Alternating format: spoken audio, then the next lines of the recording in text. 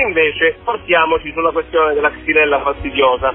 Eh, perché? Perché stanno continuando i massacri di ulivi secolari nella zona di Cisternino e Ostuni e, e, siccome tutto questo avviene perché non c'è scienza dietro, perché mai nessuno ha dimostrato che abbattere un ulivo, lo, sapete questo fatto, ve l'ho ripetuto mille volte, ferma il batterio, che cosa, cosa accade? Accade che il corpo forestale dello Stato va a Ostuni e fa una multa di 1000 euro a un povero contadino che vende 10 piante piccoline di ulivo e siccome in quella zona non si può fare perché hanno inventato questo decreto che ci deve essere la negazione, chi può vendere le piantine Davide? Chi può vendere? Soltanto chi è autorizzato e questo mi fa pensare che veramente, veramente dietro questa vicenda invece ci sono interessi industriali e commerciali e la finisco qui perché altrimenti ci sarebbe da dire molte altre cose che io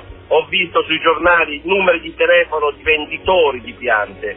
Invece a Ostuni un povero cristiano che ha venduto 10 piantine gli hanno fatto 1000 euro perché sarebbe l'untore, colui che diffonderebbe la xylella fastidiosa.